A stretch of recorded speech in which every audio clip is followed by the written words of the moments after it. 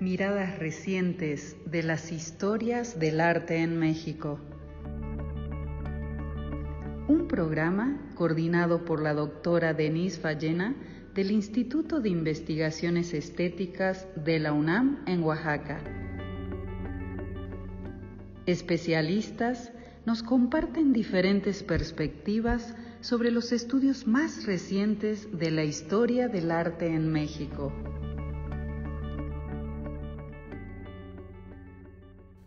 Hola, ¿qué tal amigos? Me da mucho gusto saludarlos una vez más. Soy Salvador España de Spanish Public Radio y les doy la más cordial de las bienvenidas a un programa más de miradas recientes de las historias del arte en México. En el programa de hoy, el doctor en Historia del Arte, Gonzalo Sánchez, nos llevará a un recorrido por ese mundo prehispánico en Mesoamérica a través de la cultura musical. Así es que los invito a disfrutar este nuevo programa de Miradas Recientes de las historias del arte en México. Hola, ¿qué tal? Bienvenidos nuevamente a esta serie de videocápsulas Miradas Recientes a las historias del arte en México. En esta ocasión les comentaré el tema sobre las culturas musicales de Mesoamérica y la relación con la colección de Samuel Martí. Antes de iniciar, quiero agradecer a Denise Fallena y a Erika Ardeli por la invitación a participar en esta serie de videocápsulas. Gracias también a Salvador España, quien está apoyando la operación técnica. A quienes nos ven y han estado al pendiente de estas publicaciones, eh, les mandamos un cordial saludo desde la sede Oaxaca del Instituto de Investigaciones Estéticas. El tema que abordaremos en esta charla trata sobre las culturas musicales de los grupos humanos que habitaron la porción del continente conocida como Mesoamérica, Comentaremos algunas generalidades sobre el ámbito musical, veremos el importante vínculo entre la música y la religión y en una segunda parte vamos a relacionar este tema con la colección de instrumentos musicales que perteneció a Samuel Martí, un investigador pionero en el estudio de las culturas musicales prehispánicas, y veremos también el vínculo que existe entre este personaje con dos ciudades que nos atañen en este momento, Chicago y Oaxaca. Las culturas musicales de Mesoamérica. Todo parece indicar que en la época prehispánica no hubo una sola cultura musical. A partir de los restos materiales, junto con otras evidencias como la iconografía y las fuentes documentales, podemos inferir que las culturas musicales en Mesoamérica no fueron estáticas. Por el contrario, hubo una serie de cambios a lo largo del tiempo como resultado de la dinámica política y social que caracterizaron a los tres principales periodos en los que se divide la historia de Mesoamérica. Preclásico, que va más o menos de 1600 a.C. a 200 después de Cristo. El clásico, que abarca del 300 al 900 después de Cristo. Y el postclásico, del 900 a 1521 después. Bueno, aquí solamente vemos unas imágenes de diferentes eh, referencias que tenemos sobre, sobre la música. Em, por ejemplo, en el periodo clásico observamos un notable auge de la experimentación acústica en los instrumentos musicales. Esto ocurre en general en toda Mesoamérica, aunque con mayor énfasis en regiones como la costa del Golfo y el área maya. Las evidencias de la polifonía aplicada a los instrumentos musicales las encontramos, por ejemplo, en las flautas de tres o cuatro tubos que funcionan como una especie de órgano, además de otros instrumentos en los que se conjuntaron la complejidad acústica y musical con una variedad de formas para dar paso a texturas tímbricas inusitadas. Vamos a escuchar un ejemplo.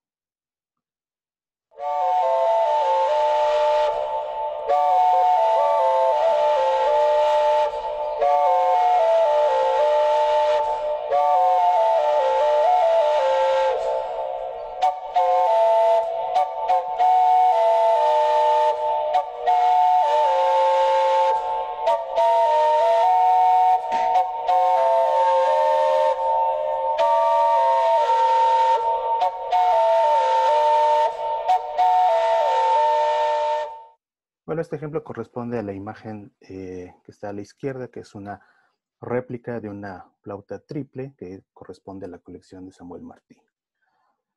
Con el abandono de los principales centros urbanos al final del periodo clásico, notamos un cambio en el instrumental sonoro, algunos instrumentos desaparecieron y surgieron otros. Durante el periodo postclásico es evidente la propagación de un estilo internacional en las artes que trascendió también al ámbito de la música. Aprovechando que estamos aprovechando que estamos comentando el tema de la materialidad, si bien la mayoría de los instrumentos musicales que se conservan fueron elaborados en cerámica, esto no quiere decir que sean inferiores, inferiores respecto a otros instrumentos musicales del mundo. El barro es un material sumamente moldeable con el que es posible crear una variedad infinita de formas. Además, es de los materiales que mejor se conservan tras el paso del tiempo. Y aquí, bueno, solamente un par de ejemplos, un silbato triple, malla a la derecha, un tambor de cerámica. Esto no significa que únicamente se utilizara arcilla. Desde luego se utilizaron otros materiales degradables, como por ejemplo la madera, pero que no siempre se lograron conservar. Y como casos excepcionales tenemos estos magníficos ejemplares de Teponazli y Huehue, procedentes de la Mixteca de Oaxaca y el Altiplano Central. El vínculo entre la religión y la música. Desde otra perspectiva, la música en Mesoamérica tiene una estrecha relación con el ámbito religioso, tal como se refleja en algunos mitos. Para estos pueblos, la música era un don otorgado por los dioses a la humanidad, y su función era atraer la atención de las deidades para que éstas descendieran a la tierra y se beneficiaran de las ofrendas que se les hacía. Además, la música guardaba una estrecha relación con otras expresiones artísticas como la literatura, el teatro y la danza que en la práctica no eran simples escenificaciones de narraciones mitológicas, sino que, en palabras de Alfredo López Austin, eran rituales que reiteraban las acciones de los dioses en tiempos primigenios. Diversos especialistas coinciden en que el medio para hacer la música es el viento, de la misma manera como las nubes son el origen de la lluvia. Esta idea la vemos materializada en la gran variedad de instrumentos de viento de instrumentos de viento o aerófonos, su nomenclatura técnica, que predominan no solo en el instrumental mesoamericano, sino en general en las culturas de todo el continente americano. En esta imagen, por ejemplo, vemos al dios Nueve Viento Quetzalcóatl que está llevando la lluvia al pueblo mixteco. Este dios tiene una relación muy cercana con la música. En algunas fuentes elaboradas unos siglos antes de la conquista, existen referencias sobre la creación de la humanidad y la música. Por ejemplo, en el manuscrito pictográfico conocido como Códice Borgia, hay una escena que relaciona directamente al dios del viento con la música y la creación de la humanidad. En las páginas 35 y 36 de este códice se narra el viaje que emprenden Quetzalcoatl y Tezcatlipoca hacia la oscuridad y el inframundo para obtener el envoltorio sagrado es este que estamos viendo a la derecha, mismo que al abrirlo libera un poderoso torrente de viento y energía. Bueno, no me quiero detener tanto en los detalles, eh, solo quiero resaltar que este envoltorio sagrado está decorado con plumones, eh, papel y un instrumento de viento, que puede ser una flauta o una trompeta, de cuyo pabellón emerge un torrente de viento poderoso de color negro que va a adquirir la forma de una, eh, de una greca y que en opinión de algunos expertos se trata de una serpiente de visión, la cual va a envolver a un personaje y lo va a llevar a un viaje alucinatorio. Aquí está la continuación de esta, de esta banda. Al finalizar el trance, este personaje, que ahora aparece con una marca sobre, la, sobre el rostro, despierta y emerge de la boca del dios del viento y se encuentra frente a dos templos. El templo rojo, donde Xochipili, el dios del sol, toca una flauta y, y un tambor precioso, y el templo negro, el templo de los relámpagos o el fuego. El acto de abrir el envoltorio sagrado se ha interpretado como un pasaje de la creación de la humanidad en el que la música tiene una participación importante. Este mito también está presente en otras narrativas nahuas y mayas del periodo de contacto, aunque no exactamente iguales. Por ejemplo, en la leyenda de los soles, la historia de los mexicanos por sus pinturas y el Popol Vuh, se incluyen pasajes en donde los protagonistas se adentran en el inframundo para después emerger y dar paso a la creación del género humano. Lo significativo en todos estos episodios es la presencia del dios del viento y de la música en el momento de la creación. En este contexto de la cosmovisión mesoamericana, el sonido emanado de algunos instrumentos musicales eran considerados como una manifestación de la deidad misma y por ende eran tratados como objetos sagrados, como recipientes divinos a los que se les adoraba al lado de, las, de efigies de los dioses, de la música y la danza. Tanto el canto como los sonidos de los instrumentos de viento eran acompañados por otros como maracas, raspadores, cascabeles, tambores, entre otros. Al parecer, uno de los rasgos que caracterizan a la música de los pueblos mesoamericanos es el énfasis en la dimensión tímbrica y en la creación de texturas sonoras, en lo que actualmente llamamos heterofonía, es decir, la simultaneidad de una melodía y sus variantes en diversas voces e instrumentos, pero en una presentación canónica, es decir, que van eh, un tanto desfasadas. El resultado de todo esto es una impresión sonora que se aleja de nuestra idea sobre armonía. Y esto quiere decir que las categorías como afinado o desafinado no son universales, sino más bien son una construcción cultural. Por otro lado, mucha gente se pregunta si hubo un tipo de escritura musical en Mesoamérica. Hasta el momento desconocemos si existió un registro gráfico semejante al de la tradición europea. En un trabajo reciente hemos encontrado indicios que sugieren la representación de las cualidades de los sonidos. Esto lo descubrimos en un trabajo que eh, elaboramos eh, el arqueólogo Ismael Vicente y yo, al analizar una vasija de estilo códice o estilo Mixteca Puebla, procedente de Oaxaca, que incluye la representación de un conjunto musical. Y esta es una pieza única, ya que no es común hallar este tipo de iconografías en estas vasijas. El personaje principal es una deidad solar, el Señor Uno Muerte por su nombre calendárico, quien canta y al mismo tiempo toca un gilófono de lengüeta o, o teponastle. A los lados de este instrumento aparecen dos signos, una flor y un plumón que pensamos podría tratarse de la representación de la cualidad de los sonidos emitidos. Hay que recordar que este instrumento se caracteriza porque con sus dos lengüetas es posible tocar al menos dos notas musicales. Así, y de forma hipotética, pensamos que dichos signos, la flor y el plumón, podrían representar dos sonidos diferentes. Bueno, hasta el momento es un poco especulativo y pues habrá que revisar un corpus más amplio de imágenes. De cualquier modo, la existencia o no de una escritura musical no es un indicador para considerar como superior o inferior a una tradición musical. Más bien, tenemos que pensarlo como diferentes estrategias de transmisión de conocimiento que utilizan las culturas.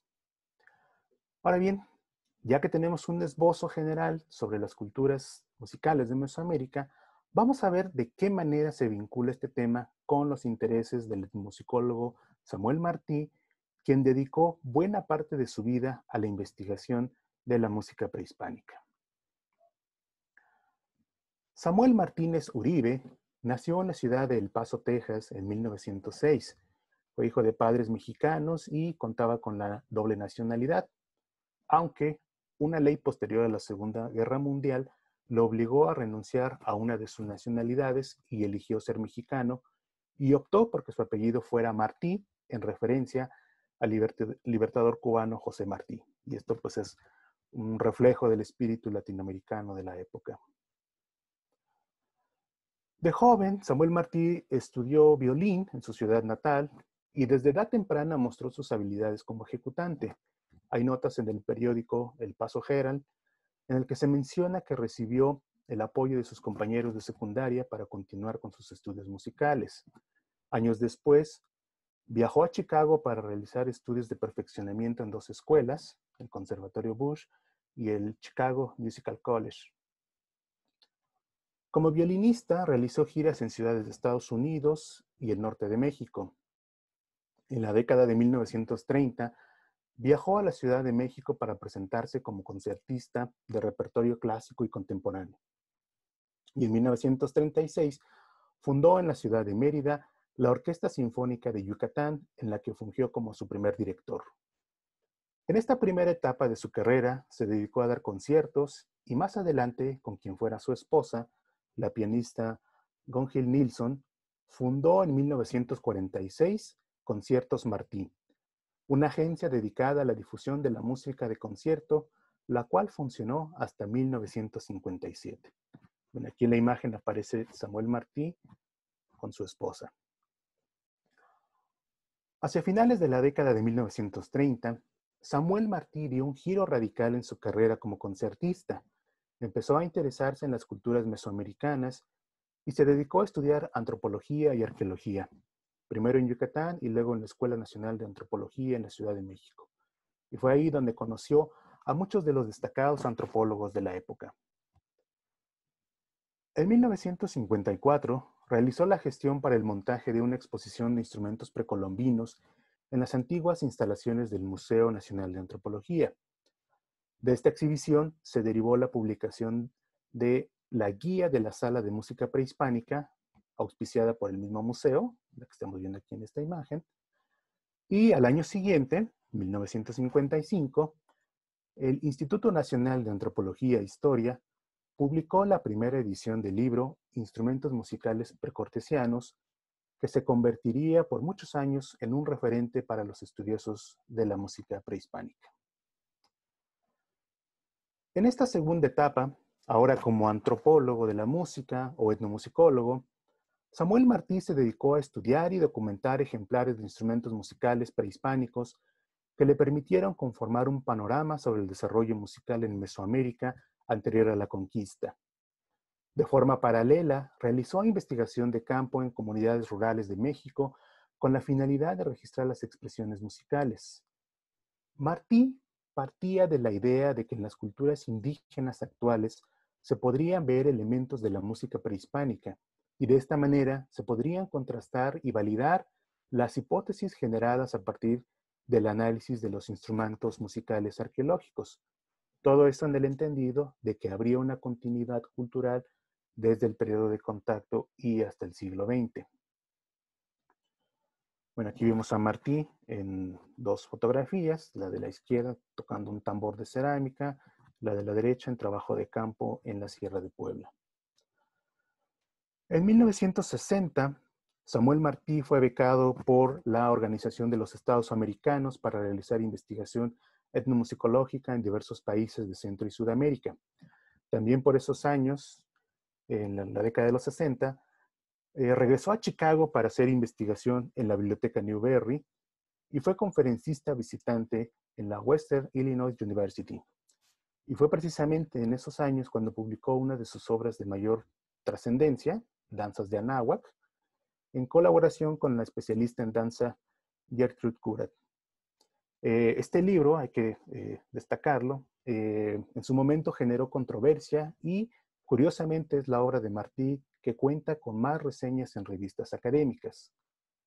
También por esos años estuvo trabajando en la Ciudad de México, principalmente en el montaje del nuevo Museo Nacional de Antropología.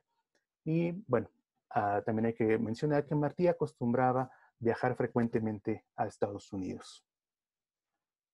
En relación con sus publicaciones, estas son numerosas. Muchas de ellas son artículos, otros son libros, algunos publicados en México, otros en el extranjero.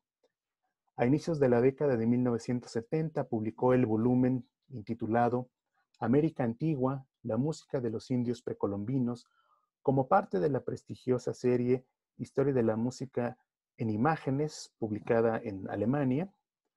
Este libro fue muy bien recibido en el ámbito académico y se considera la contribución más importante de Samuel Martí porque da un panorama muy completo y preciso sobre la música en las culturas precolombinas. Vale mencionar que algunos de sus artículos están disponibles en la red, principalmente aquellos que se publicaron en la revista Cuadernos Americanos del Centro de Investigaciones sobre América Latina y el Caribe de la UNAM. La colección de instrumentos musicales. A lo largo de su carrera como investigador de las culturas musicales de Mesoamérica, Samuel Martí logró conformar una colección de aproximadamente 92 instrumentos provenientes de diferentes regiones de México y algunos de Sudamérica. Quiero aclarar que para ese momento las leyes mexicanas no penalizaban la comercialización de los bienes arqueológicos, por lo que numerosos intelectuales, artistas, abogados, médicos, escritores, etcétera, lograron conformar importantes colecciones de arte precolombino. En la colección Martí hay instrumentos de diferentes regiones de México, principalmente, y eh, algunos de Sudamérica. Martí eh, sufrió un paro cardíaco mientras realizaba un viaje a la ciudad de Taxco Guerrero y fue trasladado a Tepoztlán, Morelos, en donde dejó de existir un 28 de marzo de 1975. A raíz de su fallecimiento, eh, su viuda, la señora Gonquil Nilsson, decidió donar la colección de instrumentos al recién inaugurado Museo Regional de Oaxaca. Y aquí es donde vamos a ver de qué manera se vincula esta colección con, la ciudad de Oaxaca. Oaxaca no era un estado ajeno a Martí. Realizó grabaciones de campo en regiones como la Mixteca, el Valle de Oaxaca y el Istmo de Tehuantepec. Conocía los principales sitios arqueológicos como Monte Albán, Mitla y Sachila, y desde luego que conoció las colecciones provenientes de Oaxaca que se resguardan en el Museo Nacional de Antropología en la Ciudad de México. Una pregunta que nos surge es, bueno, ¿por qué la viuda de Martí decidió donar la colección al Museo de Oaxaca? En un principio no teníamos del todo claro cuáles pudieron ser estas motivaciones, y fue gracias a una charla con la maestra Cecilia Winter, del Instituto de Órganos Históricos de Oaxaca que se aclaró este, este interrogante. Resulta que la señora Nilsson era pianista y frecuentaba el ambiente cultural de Oaxaca, eh, realizaba viajes constantes a Oaxaca. Eh, de esta manera, ella se enteró de la próxima apertura del Museo Regional de Oaxaca y, en, bueno, en las eh, instalaciones del ex convento de Santo Domingo de Guzmán y vio la oportunidad para que dicho recinto alojara la colección de quien fuera su esposo. Por las investigaciones de la doctora Evelyn Weiss, sabemos que la señora Nilsson realizó las gestiones ante el Centro Regional Oaxaca del INA y fue así como en 1976 se concretó la donación. La principal condición que la señora Nilsson puso para llevar a cabo dicha donación era que la colección se exhibiera al público de forma permanente. Fue así como en 1977 se inauguró una exposición temporal en la que se mostró toda la colección de instrumentos de Samuel Martín, aunque dicha exhibición solo duró un mes, de septiembre a octubre. Una vez retirada pasó a las bodegas del museo. En 1982 se exhibió nuevamente la colección, esta vez por un periodo más amplio, de tres años, y apareció mencionada en la guía del museo, en la que se explicaba al visitante algunos pormenores de las áreas de arqueología y etnografía, y de paso también eh, los detalles sobre la colección de instrumentos de Martí. Aquí vemos un fragmento de esa guía. En 1985 nuevamente se retiró la colección y pasó a las bodegas. La señora Nilsson realizó varios viajes a Oaxaca para verificar el estado de la colección y el personal del museo argumentaba que debido a los trabajos de remodelación de las salas no era posible exhibirles nuevamente. Bueno, este dibujo que estamos viendo es el del diseño de las vitrinas que se hizo en 1977 para la primera exhibición. Eh, bueno, aquí debemos hacer un paréntesis para comentar que eh, para algunos arqueólogos, la colección Martí no era, eh, no les resultaba un material de interés e incluso se le consideró como una colección de piezas falsas porque efectivamente hay algunas réplicas de instrumentos musicales. En nuestra opinión, pensamos que más bien hay que valorar la colección en su conjunto y aquellas piezas, aquellos instrumentos etiquetados como falsos, pues son interesantes porque nos revelan los intereses del propio Martí pensamos que estas piezas fueron mandadas a hacer por el propio Martí o bien que se trata de, eh, piezas que recibió a manera de regalos. Aquí vemos algunos ejemplos de estas eh, réplicas de instrumentos. Y bueno, desde años atrás pues ya teníamos en mente un proyecto para exhibir nuevamente la colección de Samuel Martí y fue hasta el año pasado que logramos que la logramos concretar gracias a una colaboración entre el Museo de las Culturas de Oaxaca, la Fonoteca de Lina y el Instituto de Investigaciones Estéticas. La exposición la intitulamos Heterofonías del pasado en la colección Martí, retomando este concepto que mencionamos al inicio de, de heterofonía y que al parecer como ya lo mencionamos, es uno de los rasgos eh, característicos de las culturas mesoamericanas. Nuestro propósito era pues, mostrar los instrumentos, pero eh, de una manera contextualizada con los, eh, los intereses de investigación de Samuel Martí, de su quehacer como investigador de la música, su faceta como promotor cultural, como arqueólogo, y bueno, todo esto, este material complementado con una selección de sus principales obras. Además, realizamos una sonorización de la sala que incluye los sonidos de los instrumentos musicales exhibidos y una selección de grabaciones inéditas que realizó el propio Martí en sus investigaciones en campo. Intentamos que de manera integral la exposición fungiera como un homenaje a este personaje pionero de la arqueomusicología y etnomusicología en México. Y aquí vamos a escuchar solamente un fragmento de precisamente de esa eh, sonorización que estuvo en sala.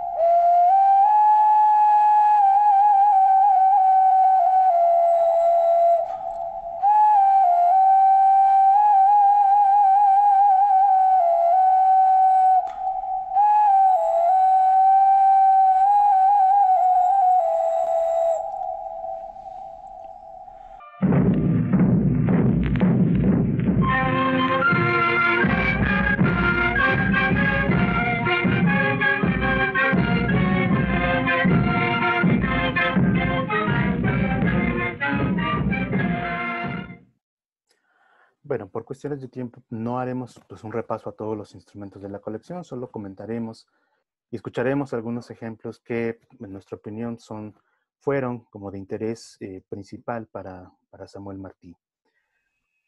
Empezamos con las eh, flautas del occidente de México, eh, específicamente de la tradición de las tumbas de Tiro que se han fechado para más o menos 300 años antes de Cristo a 600 después de Cristo. Eh, hay este tipo de flautas tubulares que tienen como rasgo particular una especie de capuchón o media cubierta justo en, el área de la boca del instrumento, que tiene como finalidad generar un timbre pastoso. Hay dos versiones, las flautas sencillas de un solo tubo y las flautas dobles. Estas últimas además generan un fenómeno acústico conocido como batimientos o pulsaciones que nosotros percibimos como un sonido desafinado, porque hay una, diferencia en cuanto a las, frecuencias que se generan en cada tubo. Y no se trata de un error, por el contrario, la intencionalidad de estos instrumentos era precisamente generar ese efecto. Es un elemento que vamos a encontrar, eh, sí, muy característico de estas flautas del occidente de México, pero también lo encontramos en otras regiones y en general en el resto del continente.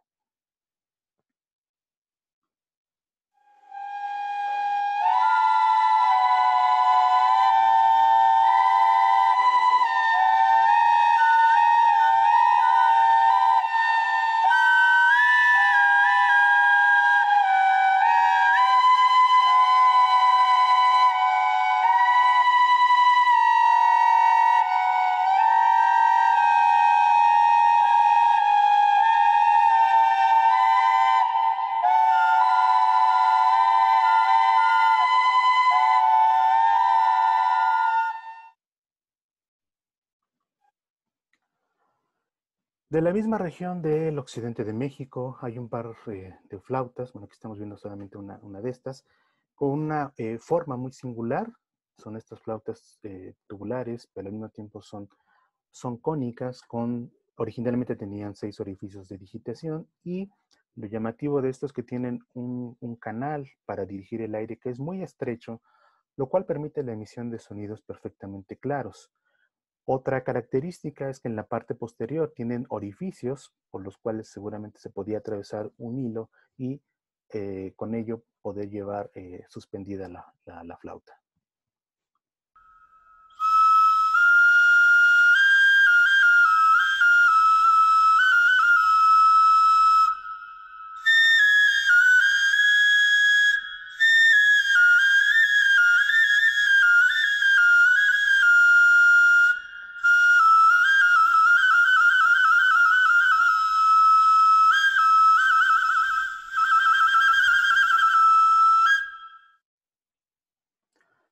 Como notan ustedes, eh, no está completo el instrumento, pero aún así es posible apreciar estas, sus cualidades.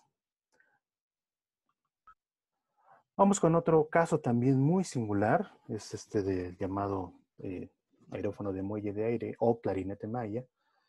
Este instrumento forma parte de un grupo singular de, de, instrumentos de viento que el ingeniero José Luis Franco en la década de los 60 denominó como aerófonos de muelle de aire la particularidad de estos instrumentos radica en su complejo mecanismo acústico interno que, dependiendo de la variante, puede generar texturas tímbricas diversas como el sonido de una caldera, una lechuza, el grito de un mono eh, o un instrumento de lengüeta.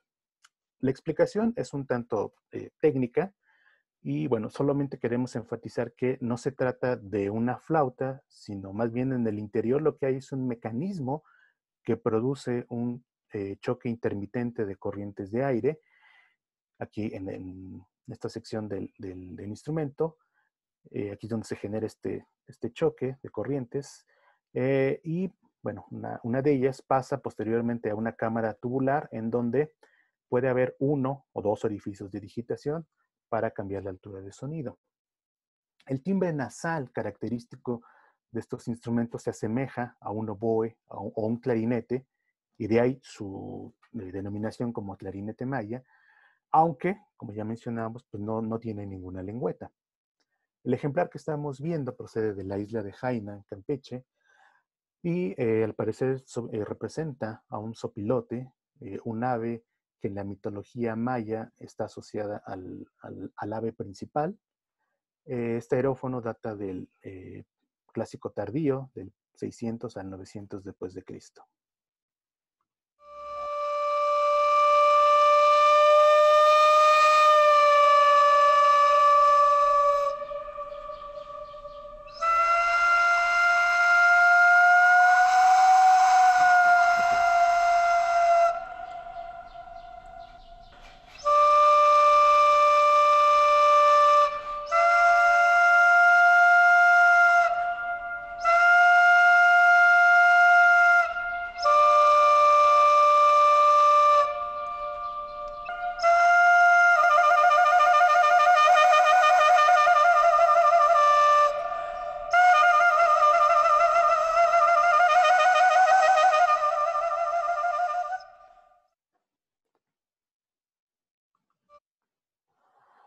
La colección de Martí hay eh, cuatro carinas eh, que representan figuras humanas erguidas que portan máscaras de ave y muestran una, eh, elongación de la cabeza.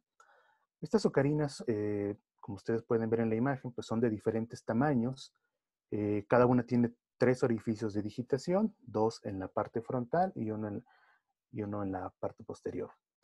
Además tienen otros dos edificios eh, que sirven para atravesar un hilo y colgarla, ¿no? llevarlas colgadas. Dado el buen estado de conservación que presentan, pues es posible que se hayan encontrado en una tumba o un entierro y quizá formaban un ensamble instrumental. Estas ocarinas eh, proceden del sur del istmo de Tehuantepec, posiblemente del área de Ixtepec, Oaxaca. En investigaciones arqueológicas recientes se han encontrado ocarinas similares, lo cual nos da la pauta para hacer el fechamiento de estos ejemplares de la colección Martí hacia el preclásico tardío, aproximadamente entre 100 a.C. a 100 después de Cristo. En cuanto a la, representación que, vemos, en cuanto a la figura, eh, posiblemente representen al dios del maíz, una entidad con presencia en toda esta parte de Mesoamérica, que es el istmo, la costa de Chiapas y el área maya. La elongación de la cabeza eh, parece representar una mazorca de maíz. En figurillas de cerámica y ocarinas del periodo preclásico de esta región, este, este personaje o este dios aparece de manera recurrente. Vamos a escuchar un ejemplo.